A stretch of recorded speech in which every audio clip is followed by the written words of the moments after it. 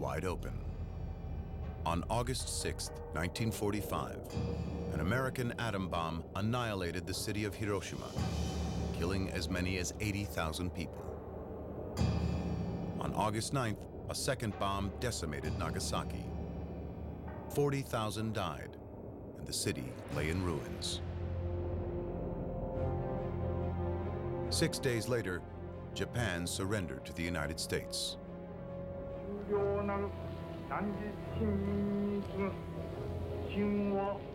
In his radio address to the nation, the emperor never mentioned defeat or surrender.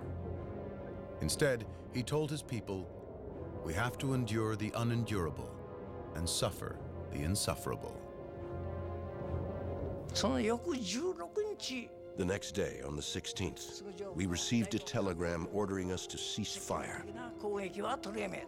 Receiving this unthinkable telegram, we gradually grasped the reality. From then on, the real drama began on board. There was no concept of surrender and remaining alive in the Japanese Imperial Navy at the time. The captains of the two I 400s reversed course and raced back toward Japan. Neither wanted to give up his prize ship nor suffer the humiliation of being captured in enemy waters. Worried about retribution, Arizumi ordered the crews of the two subs to dump their U.S. marked Seiran's into the ocean. They did so, destroying the evidence just in time. On August 28th, two U.S. destroyers discovered the I-400. The captain surrendered peacefully. 20 year old Harry Arvidson was one of the first Americans to board the giant sub. As we approached the submarine and saw what it was, I thought to myself, man, that's the biggest thing I ever seen. The next day, August 29th, the American submarine USS Segundo located the second Japanese sub. The I 401 was carrying Fleet Commander Arizumi, a man who didn't know the meaning of the word surrender.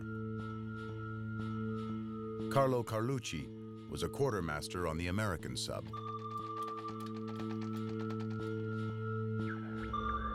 It had to be three or four o'clock in the morning before daybreak. That was when they picked it up on the radar. They didn't know what it was until they got fairly close. Tsugio Yata was a young sailor on the I-401.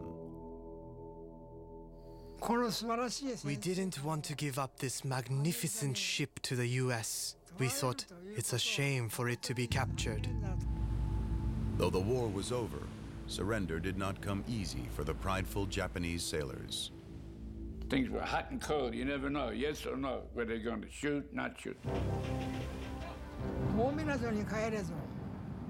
We were heading back to Japan, but we talked about how to prevent the Americans from taking the sub.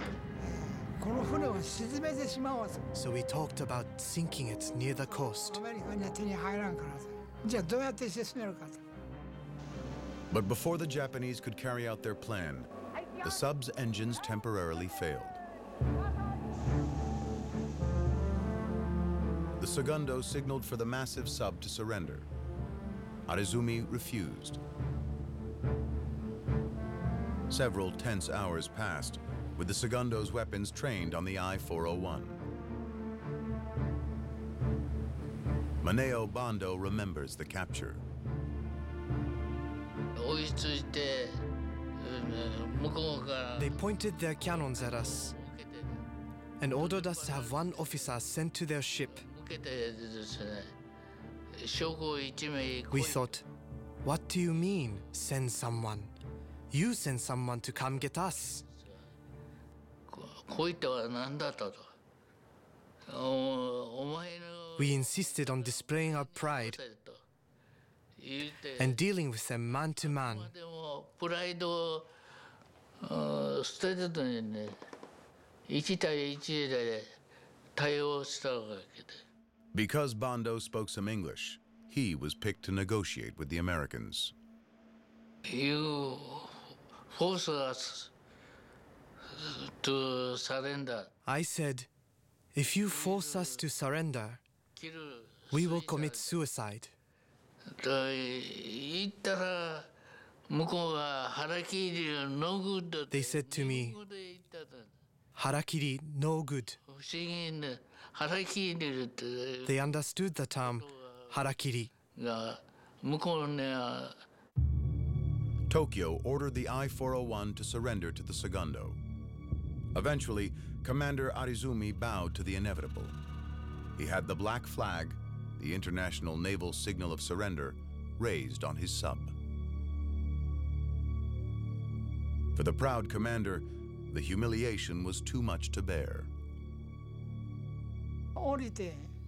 I went to get a cup of coffee and had just sat down. I heard a loud bang. That was the suicide. The captain and I rushed inside, and we saw he'd taken his own life. I heard the captain say, He finally did it. Nearly 200 Japanese servicemen were taken prisoner that day sailors, pilots, and support crew.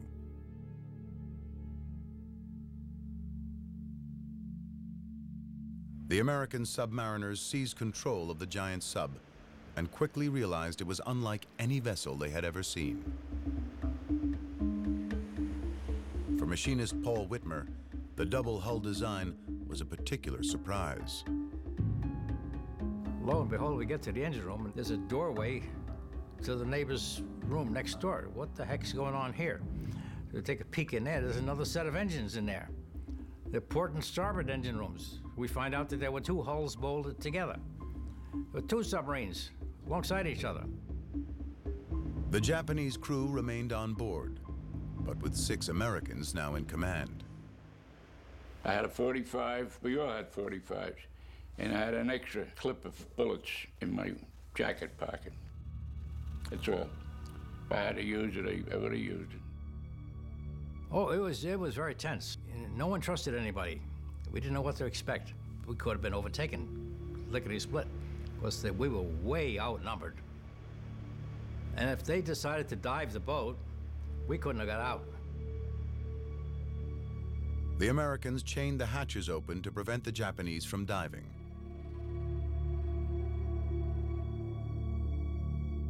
But as time passed, tensions slowly eased between the former enemies. They now had a common goal to get the subs safely back to Tokyo. In the engine room, we had to learn how to communicate with the Japanese. You know, they had to teach us, and we had to teach them. We needed to know some of the words to describe an engine, basic, elementary, grade school type communication, and uh, trying to strike up a rapport and learning their symbols and their words for what's the name of this, what's the name of that. Both subs made it back to Tokyo, where the prisoners were released. For the Americans, the next step was to bring the unusual ships home for further study. In November of 1945, they departed Japan for Hawaii. They arrived in Pearl Harbor just after New Year's Day, 1946. Navy engineers immediately began inspecting and recording every detail of the Super Sub's design.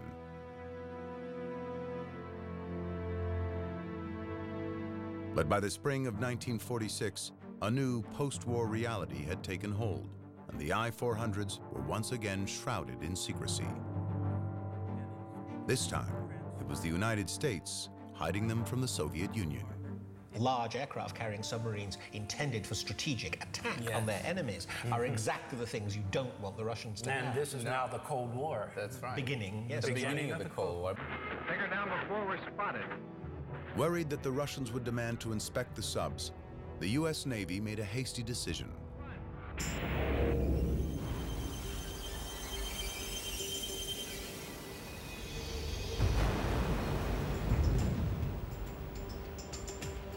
On May 31, 1946, they sunk the I-400 off the coast of Pearl Harbor.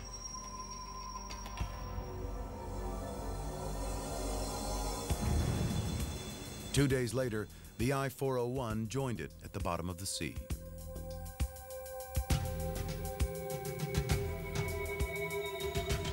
Two powerful weapons that never made it into battle, never had the chance to truly prove their worth.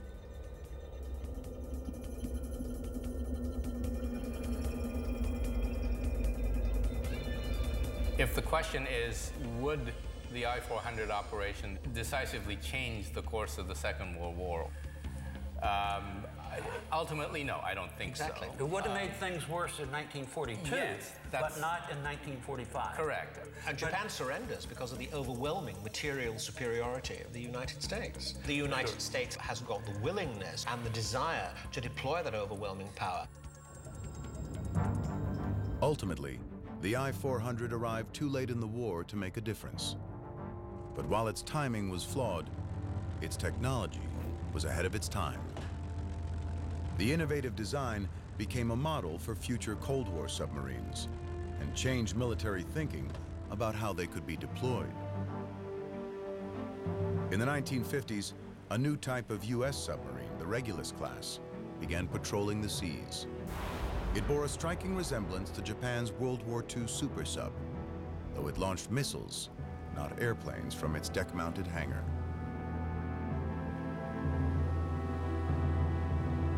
I don't believe anyone previously had looked at submarines as a means of attacking an enemy's cities. And this idea we see today in the primary nuclear weapons of the United States, France, Britain, and even Russia being submarine launched missiles to attack with nuclear warheads an enemy's cities. Though we hope that their lethal force is never needed, each one of these powerful, stealthy submarines is a living testament to one of the greatest weapons that never did battle.